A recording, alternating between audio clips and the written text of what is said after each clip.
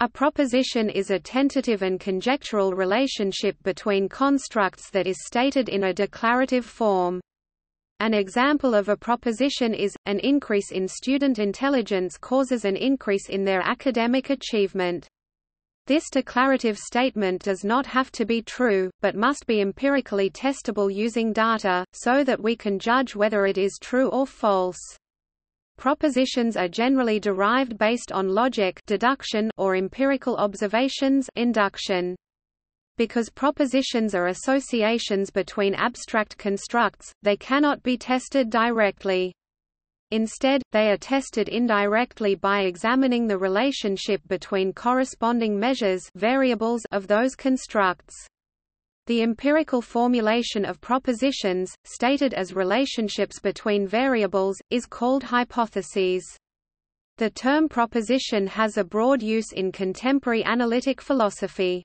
It is used to refer to some or all of the following, the primary bearers of truth value, the objects of belief and other propositional attitudes i.e., what is believed, doubted, etc., the reference of that clauses, and the meanings of declarative sentences. Propositions are the shareable objects of attitudes and the primary bearers of truth and falsity. This stipulation rules out certain candidates for propositions, including thought and utterance tokens which are not shareable, and concrete events or facts, which cannot be false.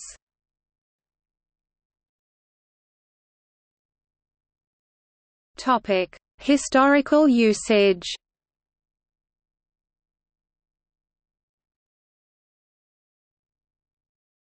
Topic: By Aristotle. Aristotelian logic identifies a proposition as a sentence which affirms or denies a predicate of a subject with the help of a copula. An Aristotelian proposition may take the form, "all men are mortal," or Socrates is a man. In the first example the subject is men, predicate is mortal, and copula is are. In the second example the subject is Socrates, the predicate is a man, and copula is is.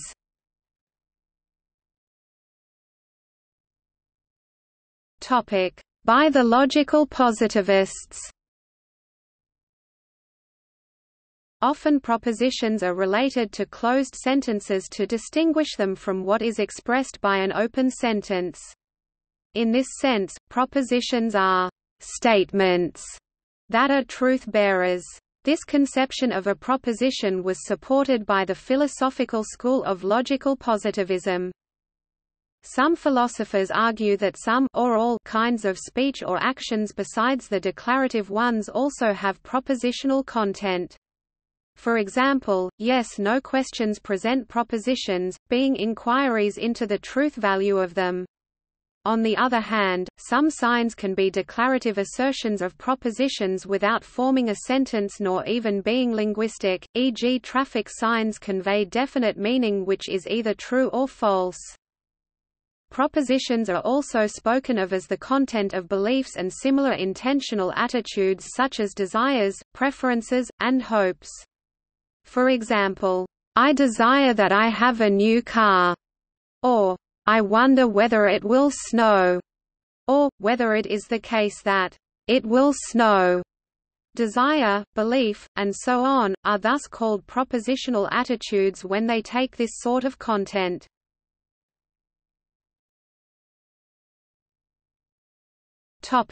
By Russell Bertrand Russell held that propositions were structured entities with objects and properties as constituents. One important difference between Ludwig Wittgenstein's view according to which a proposition is the set of possible worlds, states of affairs in which it is true is that on the Russellian account, two propositions that are true in all the same states of affairs can still be differentiated. For instance, the proposition that 2 plus 2 equals 4 is distinct on a Russellian account from 3 plus 3 equals 6. If propositions are sets of possible worlds, however, then all mathematical truths and all other necessary truths are the same set, the set of all possible worlds.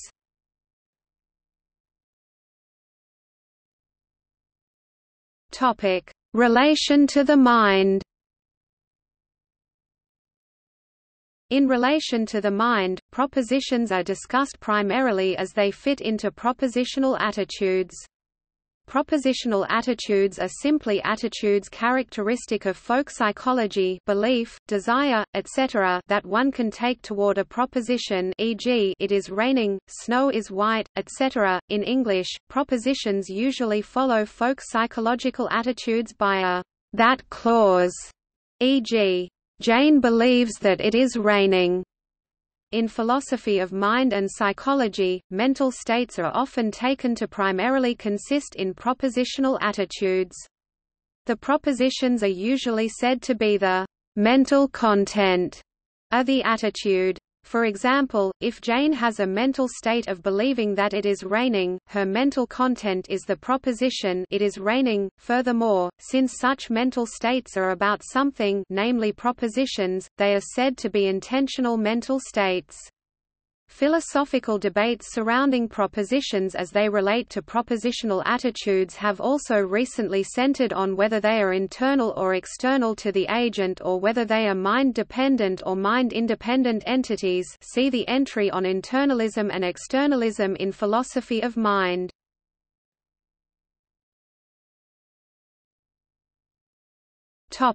Treatment in logic As noted above, in Aristotelian logic a proposition is a particular kind of sentence, one which affirms or denies a predicate of a subject with the help of a copula.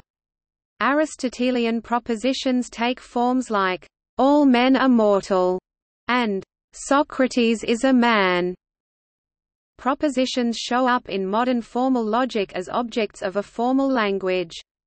A formal language begins with different types of symbols. These types can include variables, operators, function symbols, predicate or relation symbols, quantifiers, and propositional constants. Grouping symbols are often added for convenience in using the language but do not play a logical role. Symbols are concatenated together according to recursive rules in order to construct strings to which truth values will be assigned. The rules specify how the operators, function and predicate symbols, and quantifiers are to be concatenated with other strings. A proposition is then a string with a specific form. The form that a proposition takes depends on the type of logic. The type of logic called propositional, sentential, or statement logic includes only operators and propositional constants as symbols in its language. The propositions in this language are propositional constants, which are considered atomic propositions, and composite propositions, which are composed by recursively applying operators to propositions. Application here is simply a short way of saying that the corresponding concatenation rule has been applied. The types of logics called predicate, quantificational, or n-order logic include variables, operators, predicate and function symbols, and quantifiers as symbols in their languages. The propositions in these logics are more complex. First, terms must be defined. A term is i a variable or ii a function symbol applied to the number of terms required by the function symbol's arity.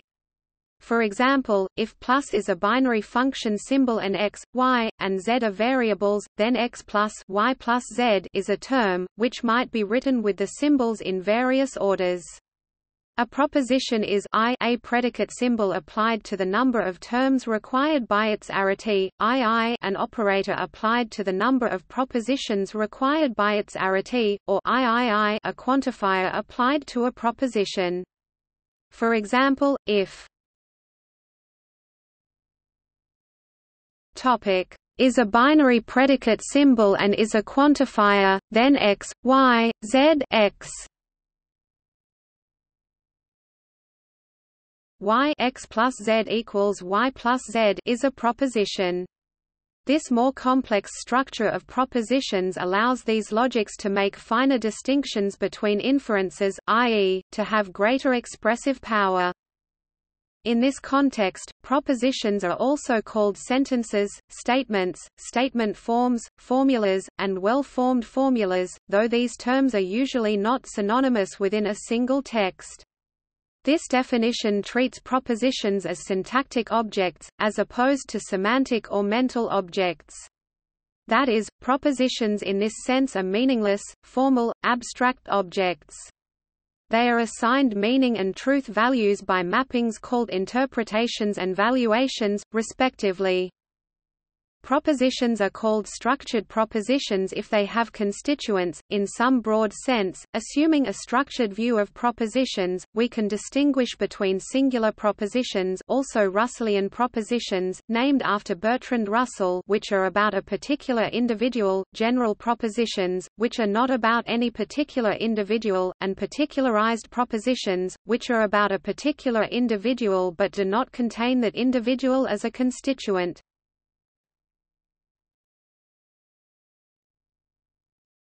Topic: Objections to propositions.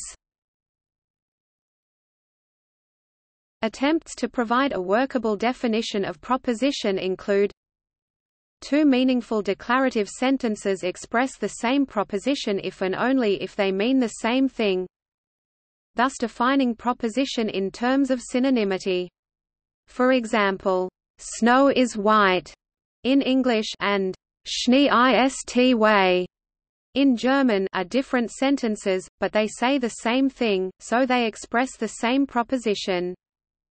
Two meaningful declarative sentence tokens express the same proposition if and only if they mean the same thing. Unfortunately, the above definitions have the result that two sentences, sentence tokens which have the same meaning and thus express the same proposition could have different truth values, e.g., I am Spartacus, said by Spartacus and said by John Smith, and e.g., "'It is Wednesday' said on a Wednesday and on a Thursday. A number of philosophers and linguists claim that all definitions of a proposition are too vague to be useful. For them, it is just a misleading concept that should be removed from philosophy and semantics. W. V. Quine maintained that the indeterminacy of translation prevented any meaningful discussion of propositions, and that they should be discarded in favor of sentences. Strawson advocated the use of the term, statement.